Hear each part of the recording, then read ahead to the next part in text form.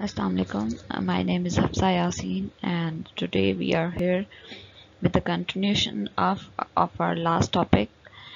So that is the political history of Pakistan from the year 1972 to 2003 till 1971. What we have seen that uh, Pakistan was separated, East pa- West Pakistan was separated from the East Pakistan, and ultimately uh, now uh, the leadership was handled towards the Pakistan People's Party and Zulfikar Ali Bhutto was the one who was who is leading the state now. So Zulfikar Ali Bhutto assumed powers on December 20th, 1971 after the separation of East Pakistan. He became the president of Pakistan, also the first civilian chief martial administrator. The first task was ultimately uh, the formulation of the Constitution of Pakistan in 1972 an interim constitution was adopted then the Parliament of Pakistan unanimously adopted 1973 constitution. The major policy of Mr. Bhutto was the nationalization. His government nationalized the uh, emerald mines in Swat, key industries like iron and steel, basic metals, heavy engineering, heavy electrical, motor vehicle and tractor, heavy and basic chemicals, petrochemicals, cement, gas, oil refinery, etc. Life insurance in 1972 ultimately because uh, before uh, Zulfikar Ali Bhutto there was no insurance concept, life insurance concept in the state of Pakistan. It was Zulfikar Ali Bhutto who have introduced this insurance policy in the state of Pakistan. Then he introduced the banks uh, system in Pakistan. He was the one who basically introduced the schools and colleges. New University Ordinance was issued in 1973 and managing and sub-agencies were abolished. Ultimately, each and every department was considered to be a national department and everything was run by the government. Uh, next policies that was introduced by him was labor policy, health policy, administrative reforms, problem of reforms, a new labor policy was in, uh, announced in which more rights and concessions were given to the working classes. Under new health policy, cheap medicine and facilities were promised to the masses. Administrative reforms were introduced to eradicate the corruption in the country, and hundreds of civilians were removed on the charges of the corruptions. Reforms were good ultimately. Ulti- we can see uh, that uh, uh, from their outlook they are pretty good but as the result were not according to the expectations of the masses uh, discontentment uh, took place of the initial optimism and ultimately uh, we have seen that because of all of this discontamination and ultimately not the proper uh, implementation of the policy uh, there was no proper results. And when in 1977 Pakistan People's Party won the elections the joint opposition basically blamed that there was the mass rigging and ultimately the election results are influenced. So uh, they have refused to accept the result uh, results and uh, as uh, People's Party was uh, Pakistan People's Party was asked to negotiate they have refused to negotiate negotiate uh, the elected majority party and claimed that we were the elected majority party in 1971 so now opposition actually refused to compromise and took cases to the streets.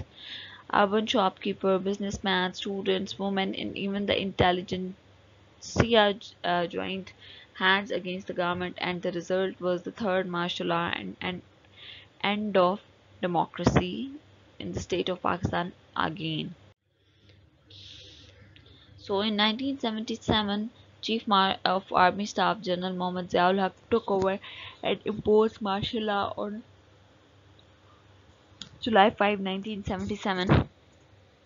He suspended the constitution which was implemented and which was introduced by General Ziaul Haq in 1973 and uh, the longest military rule was started in the history of Pakistan. To just satisfy, satisfy his rule, uh, General Ziaul Haq presented his agenda uh, basically when General, Ziaul Haq took charge he he basically promised that he will held the general elections for to revive the democratic structure within the 90 days but ultimately he didn't fulfill his promise until his death in 1988 so uh, to justify his existence General Ziaul Haq presented the effective uh, administration program uh, where he have the local government system uh, in the Pakistan and he claimed that he is going to introduce a system of government uh, which will work and uh, ultimately for the welfare of the people of Pakistan.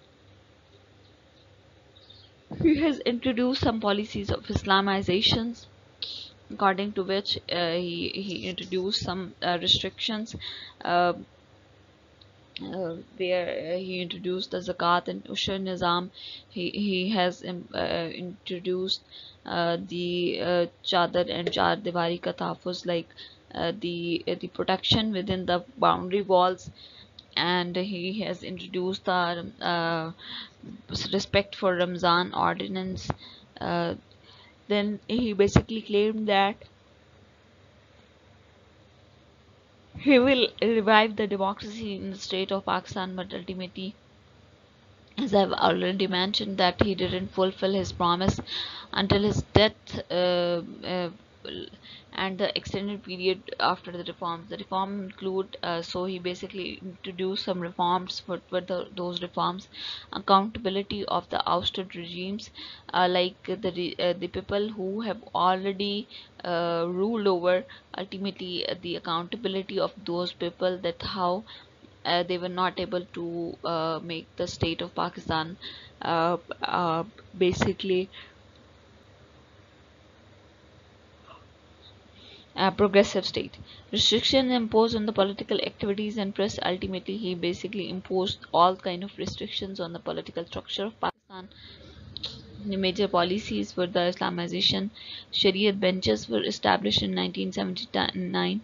Federal court, Shariat Court was established in 1981, introduced Islamic punishments, interest-free banking initiated in 1981 on the principle of profit and loss sharing, Zakat deducted on saving accounts and investments. Uh, Ushur was imposed on agricultural produ uh, products in 1983 and new education policy with Islamic character of syllabus along with Pakistan studies in Islam at compulsory for the classes up to the graduation. Islamization of mass media.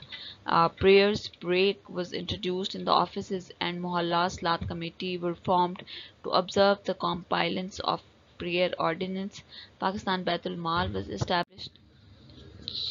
So to return the democracy he basically introduced a local government system and under which local government system the local bodies elections were held in 1979 uh, so uh, to uh, made his existence uh, democratic he introduced the uh, he basically held a referendum where General Ziaul Haq was elected as the president for the next five years and uh, for on December 1984 the referendum was basically held on December 1984 in this referendum the people were asked a question that either you wanted to uh, uh, like uh, either you wanted Pakistan as a Muslim state then you wanted Pak General Ziaul Haq as your leader or either you wanted uh, you don't want the Islam Pakistan is an Islamic state so you don't want Ziaul Haq as your uh, leader so ultimately uh, most of the people have given vote to the General Ziaul Haq and he was elected as the president of Pakistan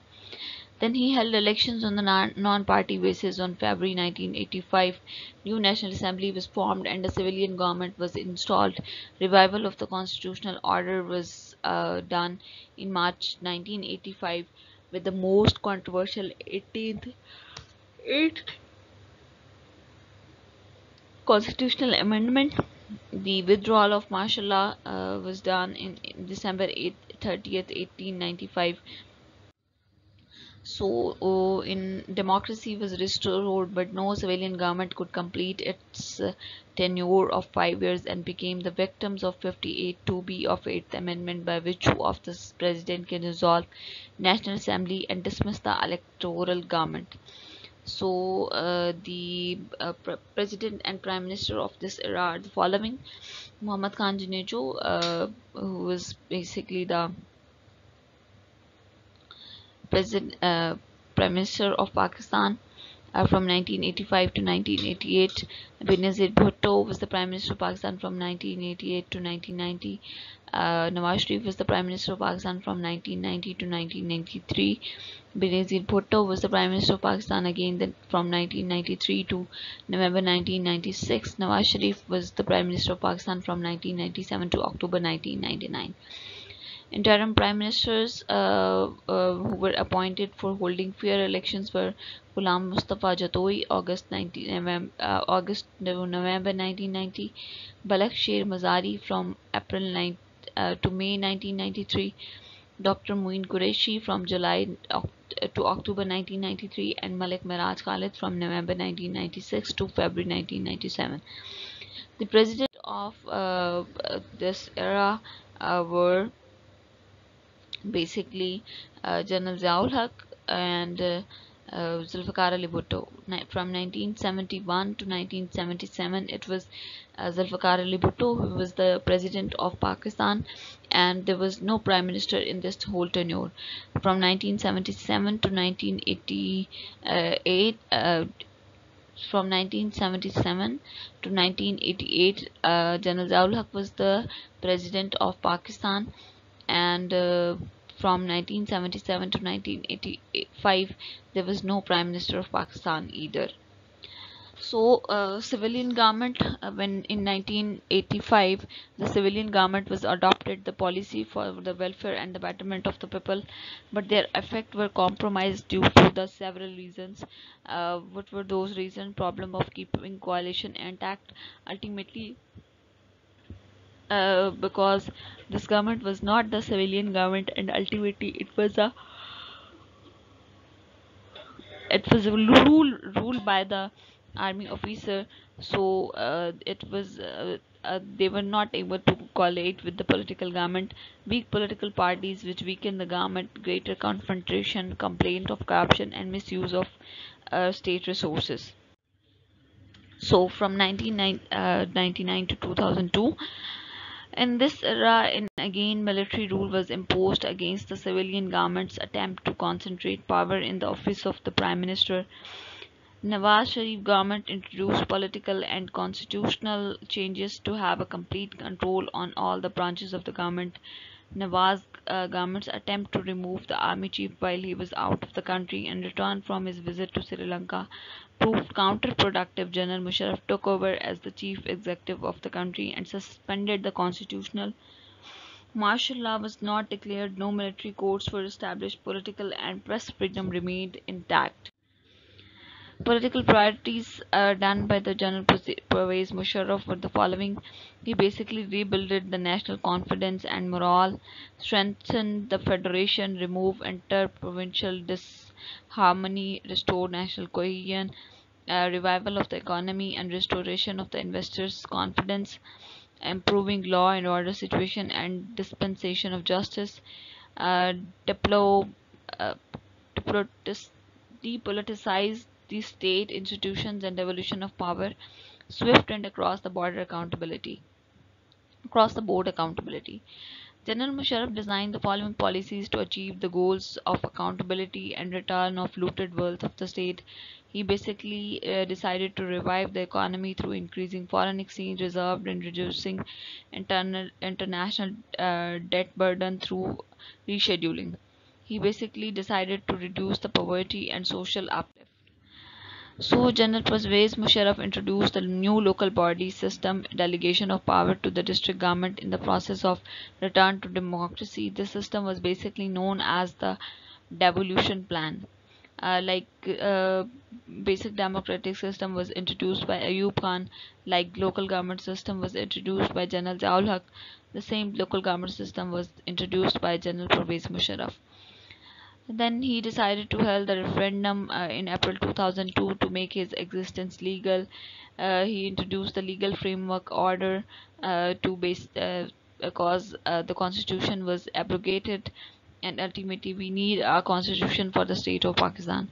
He held the general elections of national and provincial assemblies on 10th of October 2002 and there was the revival of the constitution. Civil uh, government was formed in the province and the center and ultimately in the new setup of the uh, uh, is president in uniform. Amir Zafrullah Khan Jamali was the head of the coalition government in three provinces. There are government of Muslim League Q and in NWFP there is the government of the uh, MMA working successfully. Muttahida Majlis Amal. So for uh, so uh, then there was the gradual consolidation of the democratic rule. Thank you so much. That is it for today. See you in next lecture, inshallah.